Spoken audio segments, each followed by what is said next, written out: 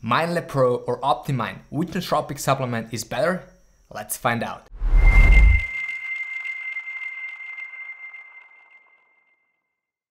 Hey, what's up? Greg here, the founder of Your Inception. Welcome to my channel where you can learn top secrets about nootropics. Subscribe below to start your journey.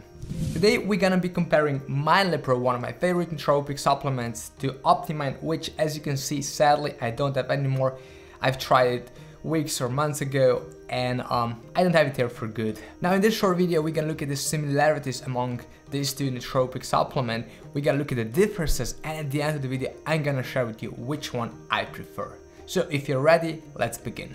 First thing first, when I started taking and testing nootropics, that was back in 2015 and then 2016, Optimind and Mind Lab Pro were one of the first nootropic supplements that I've ever tested. Alpha Brain was there as well and some others, but uh, I do remember buying Optimind and Mind Lab Pro probably at the same time. And back then, these two nootropic supplements were very popular uh, among people, among those uh, early adopters basically. Uh, but sadly, you know, the situation today is quite different. So what happened in the past years is that Mind Lab Pro has keep on updating their formula, uh, has been growing their brand, whereas um, Optimind on the other hand, you know, they stayed at the same level as they were years before. So they didn't change their format, they didn't optimize it, they didn't really do much here.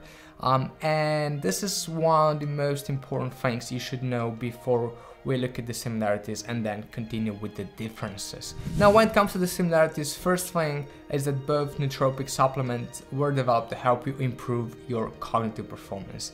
Mind Lab Pro has been developed to help improve focus, memory, attention, uh, and overall productivity, and the same thing is true for Optimind, no doubt about that. The second similarity I found is that both nootropic supplements um, were kind of a, a well researched and the team did a lot of work behind both brands. There is no doubt about it because if you look at the ingredients you can see pretty much, or at least some of them are pretty much the same. So same nootropic compounds like phosphatidylserine, like bacopa monnieri, like vitamin B12 and some amino acids are the same as well. So if you consider these two um, similarities, you, you should say, you know, both nootropic supplements are pretty much the same, right? So they should be, they should kind of provide the same benefit, but that's sadly not true. Now let's look at the differences to see why this happens. So first of all, yes, there are a few similar nootropics in both supplements, but if you dig more uh, into details, if you look at the details about nootropic supplements, then you can see that Optimind is severely underdosed. I mean, there is no doubt about it. And I think Optimind was never a really good or a really great nootropic supplement, whereas Mind Lab Pro has been always on top from the very beginning. Now, I'm not saying they're still the best nootropic supplement on the market right now, but compared to Optimind, they're much, or this is much, much better product. No doubt about that. The second important difference is that Optimind um, has stopped optimizing and developing their formula. I think that was already back in 2015 or 16. I think nothing changed in the past years. I mean, the formula is still pretty much the same. Um, and that's really bad because so much more research, so much more know-how. We know which nootropic uh, compounds are really effective, which nootropic compounds we want to see in every nootropic stack. And if they're not in, that's a big issue in my opinion. So that's another important difference.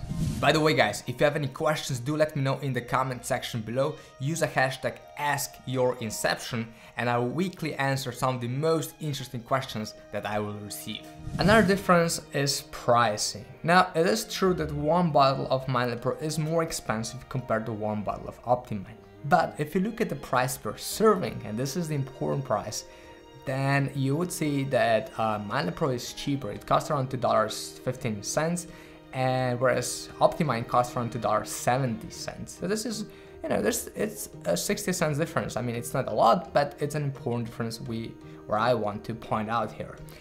And last but not least, the most important difference is the performance. I mean, if you look at the long-term performance, if you look at the safety, if you look at the effectiveness, Mind Lab Pro is millions kilometers ahead of Optimind. Now, I don't want to say Optimind is a terrible nootropic stack, it isn't, but if you just compare the two, you will see that the ingredients in Mind Lab Pro are very well dosed, not optimally, but very well dosed.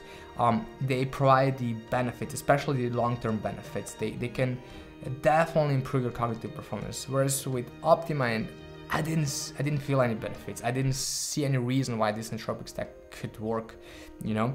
Um, and I've been taking for quite some time. And if you look at the reviews of people, I mean, you will see that exactly exactly the same thing. So you'll see people saying uh, Optimind doesn't work, I don't feel any benefits, nothing really happens. Whereas with MindLab I mean, kind of the same things happen, so people feel a bit more focused, a bit more alert, but most important, after taking MindLab Pro for several weeks, you really get the benefits. So, you know, it's really MindLab Pro, it seems a much better nootropic supplement. So to make a verdict here, um, I think at the beginning in 2015 or 2016, Optimind and MindLab Pro were both very similar nootropic supplements, but MindLab Pro was updated constantly, um, the formula improved, the dosages improved, the ingredients changed, um, and this is the reason I believe MindLab Pro stayed still on the top and it is much better nootropic supplement compared to Optimind. I know what happened with Optimind, I don't know what happened with the team behind it, but obviously something went wrong and um, yeah, you know, that's why the product stayed at the level as it currently is or as it was at the very beginning. Now, if you want to read more about MindLab Pro or if you want to already check the link below, if you have any questions guys, don't hesitate to contact me. Don't forget to follow Your Inceptional on Facebook and Instagram and I hope to see you soon. Oh, and don't forget subscribing to this channel. See you soon guys, take care.